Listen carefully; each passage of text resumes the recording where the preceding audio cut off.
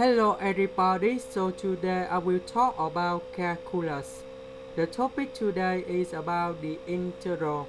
So now I will show you the technique how to answer the question. About this one, we can put about s minus 3 multiplied with s plus 2.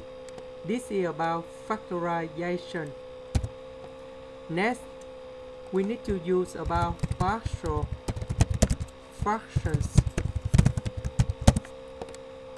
So we have capital A over S minus 3 plus capital B over S plus 2.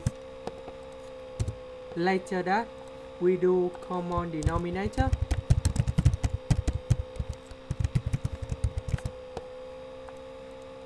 So we have this one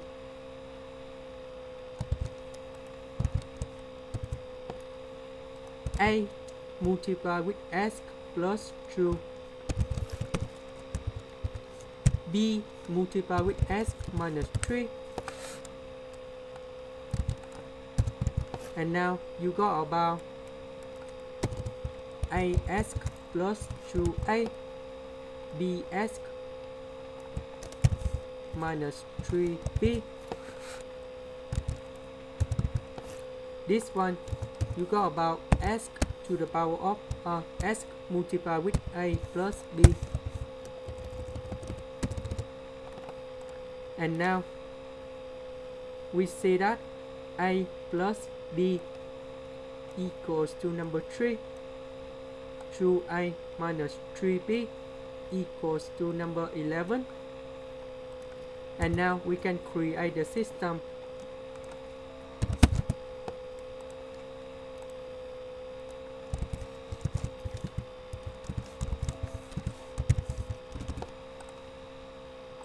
So you got about A equals to number 4, B equals to negative number 1. So we can put inside the integral.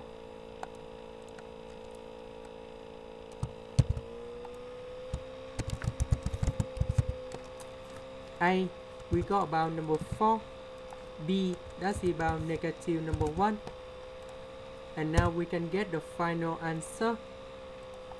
The integral of 4 over s minus 3 you got about 4 multiplied with ln of the absolute value of s minus 3 and we have negative of ln of the absolute value of s plus 2 and we have c is about constant.